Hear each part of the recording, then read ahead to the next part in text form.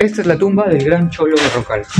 Aquí está enterrado el grandísimo Cholo Berrocal, uno de los artistas que está en el olvido, en el abandono. Hola, soy Omar y esto es Qué Curiosa Historia.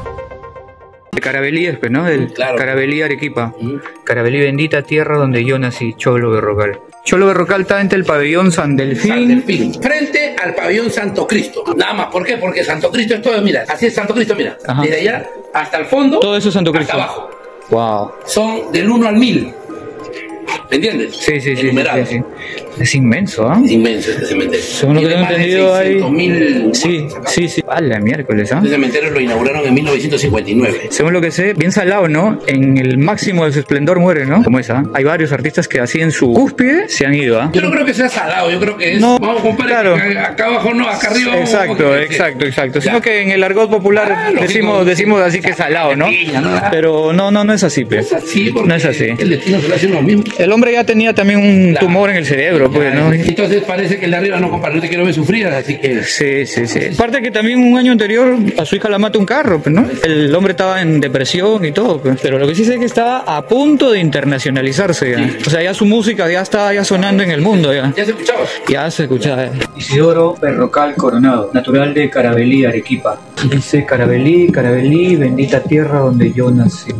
Muere en 1984. Este es un artista que ya está internacionalizándose. Su música ya sonaba incluso en Europa, en Estados Unidos. Le empieza a suceder una serie de desgracias, ¿no? Su hija fallece en un atropello de auto. Se le descubre que él tenía un tumor cerebral también. Y su música es muy bonita. Entre vals, vals criollo, ha hecho música andina, ha hecho boleros también. Yo sé que hoy en día, pues, este artista no tiene difusión, pero en aquellos tiempos él ha sido un gran, gran artista de música peruana. Acá hay una dedicatoria con lápiz al costadito.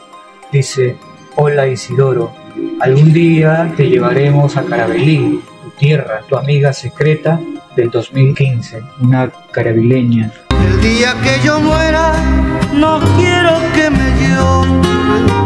Al contrario, quisiera que repiten campanas. Lleve humilde ataúd, un letrero que diga: Ya se va el desgraciado y nunca volverá. Está realmente en un área desolada, hasta paltea un poco, hablando en jerga popular, ¿no? ¿Verdad, Ana Lucía? Sí. Hasta paltea un poco porque, y, no por los muertitos, no, sino porque acá si de repente viniera alguien con intereses malos, te pueden asaltar, te pueden robar. Dos, que esta tumba no tiene algún detalle que, que se pueda notar desde lejos y uno diga, ahí está el Cholo Berrocal. La verdad que se pierde, se pierde. Si tú no conoces esta tumba, no la vas a encontrar. Está bien, bien complicado. Cuando puedan, vengan a, visit, vengan a visitarlo, por favor. Creo que es uno de los artistas que está en el olvido, en el abandono.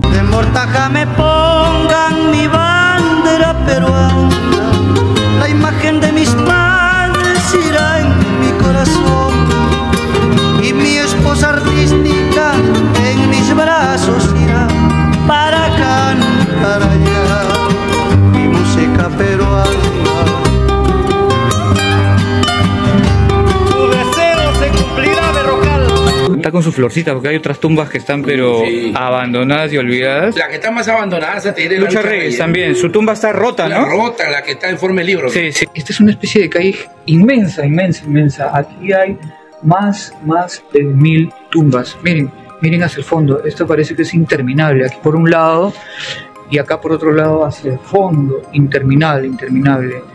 Y acá donde estoy parado yo, acá está la tumba del Cholo Berrocal. Muchos no lo conocen, pero sinceramente es un artista que vale la pena escuchar un poquito siquiera su música. Bueno, espero que les haya gustado este video.